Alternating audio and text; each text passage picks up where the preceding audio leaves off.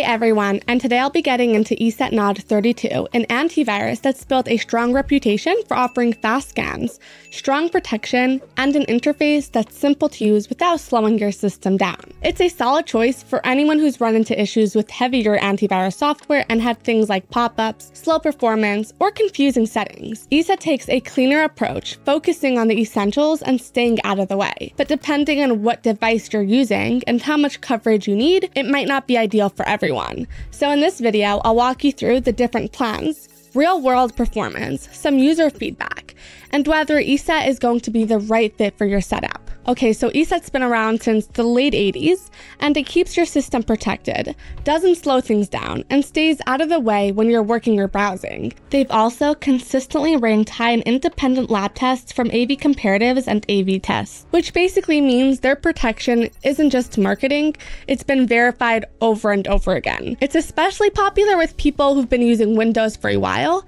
and that's partly because it's easy to use, but also because it feels solid. You install it, set it up, and that's pretty much it. It's a reliable antivirus that handles the important stuff without needing much from you. Now, one thing I appreciated right away was how quick the setup was. It just took a couple of minutes and it was ready to go. The dashboard is super clean and everything's labeled clearly, so you're not going through endless menus just to tweak one setting. ESET also runs quietly in the background, but it's always active, scanning in real time, blocking sketchy websites, and watching for anything suspicious without throwing constant pop-ups you.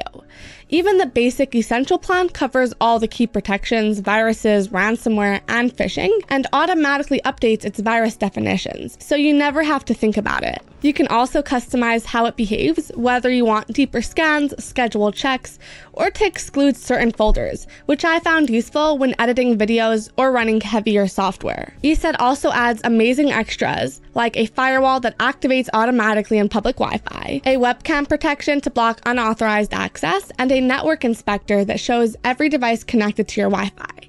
That's actually been handy for finding random smart devices that were still connected to my router. Now, if you upgrade to a higher tier plan, you'll get more privacy tools like a password manager, photo metadata cleanup, and an unlimited VPN, all managed through the ESET Home app. It's smooth and straightforward, no complicated installs, and you can manage all your devices and license from one dashboard. The only thing I would keep in mind is that the mobile protection is limited, especially on iOS, since the app is focused on two-factor authentication instead of full antivirus scanning. And while parental controls do block certain categories or URLs, they're still pretty basic and not as advanced as what you'd find in a dedicated parental control app. And hey, if you're thinking about giving it a try, I'll leave a link in the description.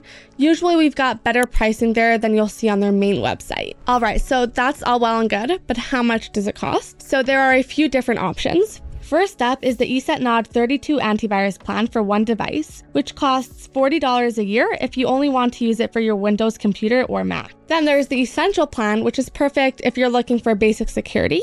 You're getting 24 7 real time protection, safe browsing, and device control, and that's all for about $60 a year. It's a great choice if you just need to cover three devices. Next up is the premium plan, which includes everything in the essential plan plus some great extras, like a secure password manager and data encryption for files and photos. This one's priced at about $80 a year, but it's great if you need that extra layer of security. And if you're looking to protect multiple devices, the ultimate plan covers up to five devices for around $180 a year.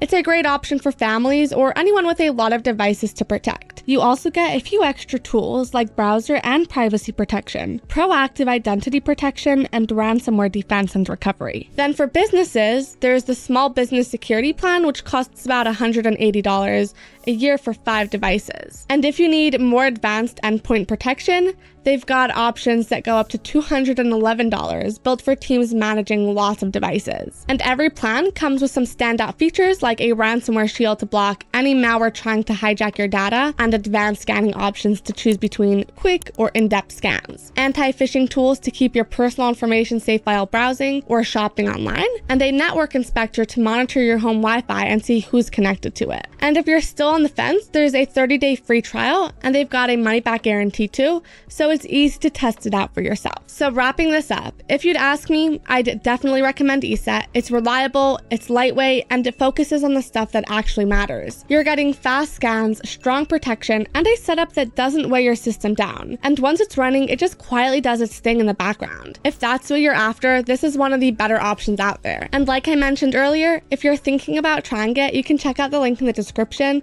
as we usually have better deals than what you'd find directly on their website. If you found this video helpful, I'd really appreciate a thumbs up. And if you've got questions or want to share how it's worked for you, feel free to drop a comment. I try to reply to as many as I can. Also, if you're interested in working with us or sponsoring a future video, just reach out using the email in the description down below.